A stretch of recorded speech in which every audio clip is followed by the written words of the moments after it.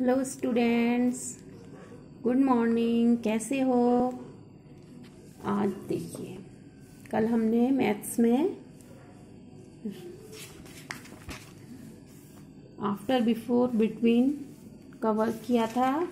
उसके बाद हमने क्या किया था? राइट द असेंडिंग ऑर्डर उसके बाद आज हम करेंगे write the descending order descending order मतलब सबसे पहले जो सबसे बड़ा नंबर, फिर उसके बाद उससे छोटा उससे छोटा उससे छोटा, ठीक है? ऊपर से नीचे की तरफ़ आते हैं, ठीक है? अब देखिए, हमें इसमें से सबसे बड़ा नंबर देखना है।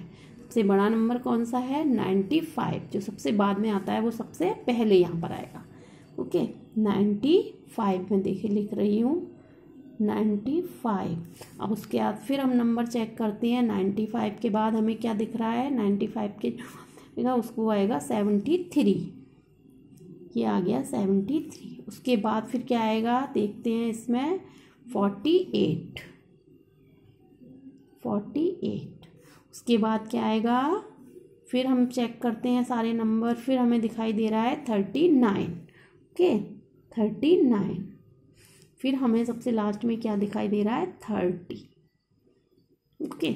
इसमें क्या करते हैं हम नीचे से ऊपर की तरफ़ के नंबर लिखते हैं और इसमें हम ऊपर से नीचे की तरफ़, देखिए सबसे लास्ट में जो नंबर होता है वो सबसे फ़र्स्ट में आ जाता है, फिर उससे छोटा, फिर उससे छोटा नंबर, फिर उससे छोटा, फिर सबसे छोटा ओके अब देखिए यहाँ पर आपको क्या नंबर दिखाई दे रहा है, सबसे पहले सबसे बड़ा नंबर कौन सा दिखा है? नाइन्टी नाइन ठीक है?